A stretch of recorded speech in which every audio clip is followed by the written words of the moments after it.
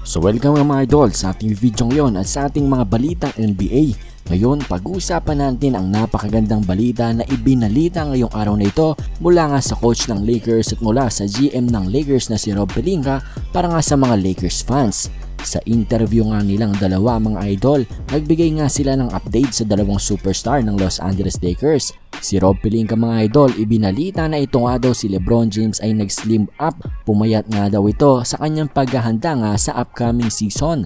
Dagdag niya pa mga idol, eto nga daw si Lebron James ay very very lock in sa kanyang training at nasisense or nararamdaman nga daw na ito ni Rob Pelinka na itong si Lebron James ay confident sa kanyang mga bagong teammates. So yan nga mga idol ang unang magandang balita para sa mga Lakers fans. Ang sumunod naman dyan, ito nga si Coach Frank Vogel ay nag-update dito sa kalagayan ni Anthony Davis ngayong off-season na ito.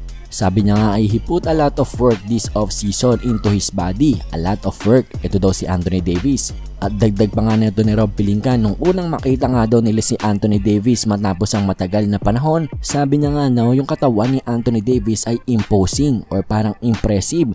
Yung katawan daw ni Anthony Davis mga idol ay very very condition para nga sa upcoming season. At matapos nga daw na makita nila itong si Anthony Davis ay nagkatinginan na lang daw sila, silang mga coaches at sinabi na sila nga daw ay magiging isang malakas na team sa parating na season na ito.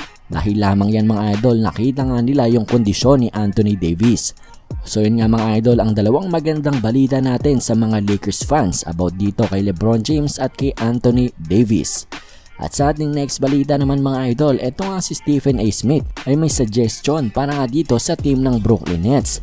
Sabi niya nga mga idol kung gusto nga daw ng Brooklyn na mag-tripit or tatlong sunod na championship, kailangan nga daw nilang i-trade itong si Kyrie Irving for Ben Simmons kailangan nga daw paalisin na itong si Kyrie Irving at ipalit itong si Simmons kung gusto ng Brooklyn Nets na mag-tripit or 3 championships in a row.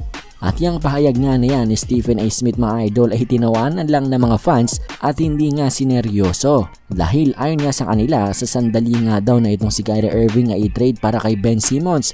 Parang sinigurado na daw na ang Los Angeles Lakers ay magcha-champion sa parating na next season. Yang at hindi nga daw magandang idea yang binigay ni Stephen A. Smith dito sa team ng Brooklyn Nets. So kayo ba mga idol, ano ba sa tingin nyo? Naniniwala ba kayo dito kay Stephen A. Smith na Kyrie Irving for Ben Simmons para nga mag-tripit ang Brooklyn? Or hindi nga kayo sang-ayon sa mga pinagsasasabi neto ni Stephen A. Smith? Komento nyo lang mga idol ang inyong mga saloobin sa ating comment section. At doon nga lang din nagtatapos ang ating mga balitang NBA ngayon. Maraming salamat sa inyong panonood. Huwag kalimutan mag-like at subscribe para nga sa mga susunod pa nating balitang NBA. So yun lamang, maraming salamat muli. Bye!